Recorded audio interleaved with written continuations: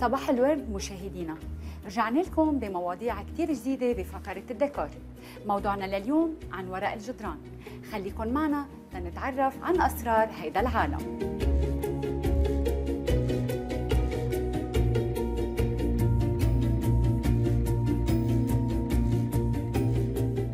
يعد لون الجدار من أحد أهم عوامل تصميم الديكور. سواء كنا بدنا نستعمل ورق الجدران أو الصبغ لتغطية الحوائط. وأكيد هيدا الشيء هو اللي بيعطينا جو اللي نحن بنختاره بالغرفة إن كان منحب الألوان المبهجة والمفرحة أو الألوان الهادية والدافية. وما ننسى أكيد في بعض الناس اللي بتحب الألوان المحايدة خاصة اللي بتحب تستعملها بغرف النوم أو الغرف الصغيرة. السؤال دايما اللي بينطرح علينا شو الأفضل أنه نستعمل ورق جدران أو صبغ؟ أنا بالنسبة لإلي دايما بختار ورق الجدران. أكيد لأنه عنده عدة فوائد أكثر من الصبغ.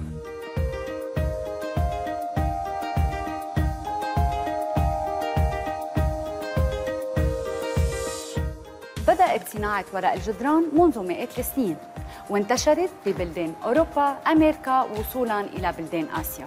وهالأيام ليش عم ننصح بورق الجدران؟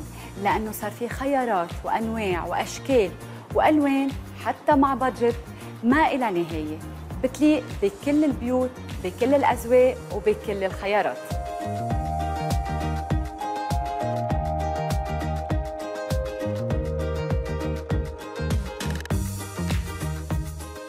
ورق الجدران متوفر بعدة نوعيات واختيارات. من الفينيل، الورق أو القماش. مثلا نحن بهيدا الجلسة اخترنا هيدا النوع من الورق الجدران اللي بيعطينا إيحاء انه ريش بينما هو مصنوع من الفينيل. مثل ما عم نشوف ما في عنا ولا خط بالنص يعني ما في joint وبنفس الوقت كثير سهل للتنظيف. بفوطة رطبة بنقدر ننظفه وفي ضمان لمدة 10 سنين. وبهيدي الحالة أكيد نحن بننصح أنه نستخدم ورق الجدران أكثر من الصبغ لأنه مستحيل الصبغ يعطينا هالجمالية اللي عم نشوفها بورق الجدران.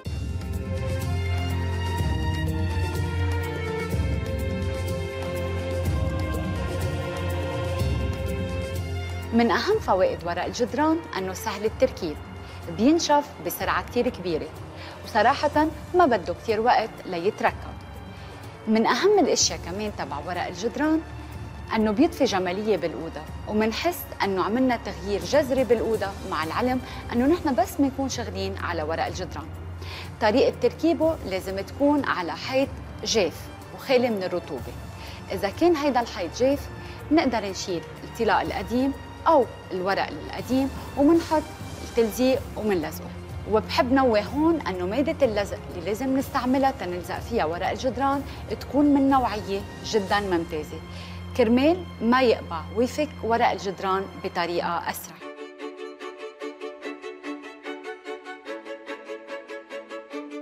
من أكثر الأشياء اللي عم تنطلب واللي هلأ كثير عم بتكون ريجة بعالم الموضة هي ورق الجدران اللي فيه بقلبه مخمل. مثل ما هون عم نشوف حتى عم بيكون بأكثرية الأوقات مصنوع من ال 3 دي وهون بيعطينا عمق للأوضة. في كمان نستعمل إذا كان عندنا panels من الجبس أو من الخشب داخل الغرفة أكيد بعد ال 90 سم على ال panels العاليين ممكن نحط ورق الجدران في نقوش كثير كبيرة مثل الورود أو الأشكال الهندسية. وهون كمان بحب فرجيكم ورق الجدران بالأشكال الهندسية كمان 3D مع قماش وورق بألوان وأشكال مميزة جدا.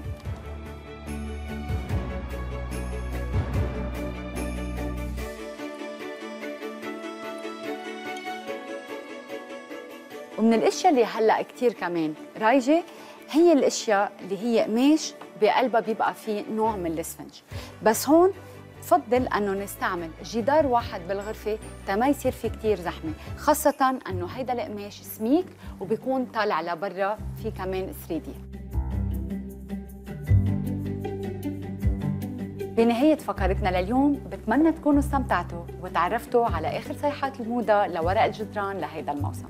بس أكيد إذا كان عندكم أي حيرة ما بيمنع أنه تاخدوا رأي مصمم أو خبير الديكور تينصحكم أكثر لقونا بحلقة جديدة الأسبوع المقبل. مع السلامة.